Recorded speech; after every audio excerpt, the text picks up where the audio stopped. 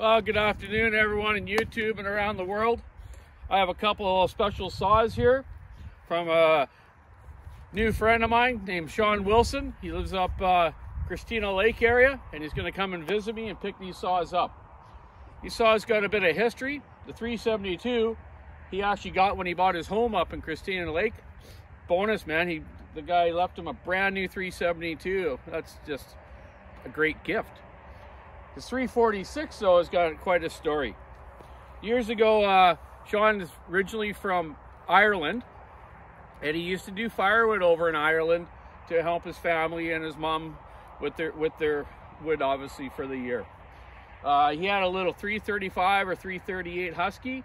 You know, that's like a topping saw or a rehandle one if they have made it that that type in, in Europe, and it burnt up. So uh, when he'd go back to Ireland, his mom, uh, for a Christmas present, bought him a brand new 346 so they can get their family wood in again. And unfortunately, um, his poor mother passed away. I'm really to hear, sorry to hear that, Sean.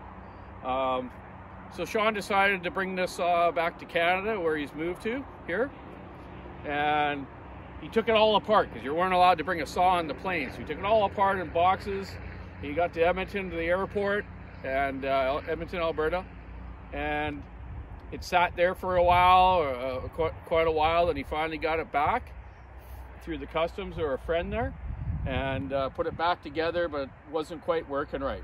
So he sent me both these saws to Walkerize. I've done them both now. The 346 is awesome. It was in great shape. Same with the 372, like new condition. Both of them were. I fixed the oiler on the 346 for him and ported it and dual piped it. And uh, it's all set up now. I'm running an 18 inch 325 chain on it, and the 372 I got a 24 inch um, full house chisel chain on it, chisel ground, pre-ground from Stihl. So I'm going to test the 346 right now, but I, I kind of just wanted to talk a little bit about RPM too on these saws. This one has a 14,100 rev limiter, but I've set it at 14,000.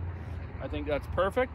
Uh, the 372 has got the unlimited coil. I set that at um, 14.2, uh, 14.3. Um, I just want to explain that too about RPM on these 372s with the air injection system, like other Huskies. So I see some guys putting holes in their covers. Wrong thing to do. When this cover is off, it revs at about 13,800. When the cover is on, it revs more at 14. 14.2, 14.3. And that's because the air injection is giving that carburetor some forced air, it gives it more power. So don't be drilling holes in your covers. It's a waste of time and you'll lose power and your filter gets clogged up more. It's designed that way, the engineers aren't stupid. They spent millions of dollars developing these saws. So let's give this little 346 a run now. And yes, mom, I have all my safety equipment on today. Hearing protection, eye protection, leg protection. Let's give her a whirl. Check out the 346.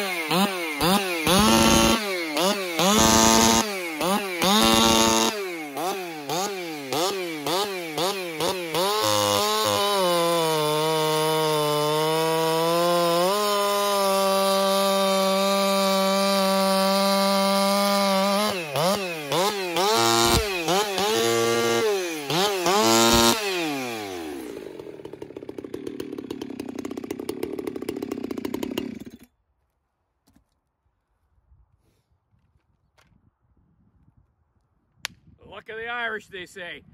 You're a lucky man. You got the Wicked 372, this 346, two of the best saws in their classes ever made. Love them both. They're my favorite saws. Have a great day, Sean Wilson. We'll see you soon. He also flies an airplane. His dog flies with him as a co-pilot. It was so cool. He showed me a picture the other day. So uh, maybe you can take me for a ride someday, buddy. I'll have to come up there fishing. Keep your saw on the wood, sticky nice, rubbing the road, and your plane of flying. Bye now.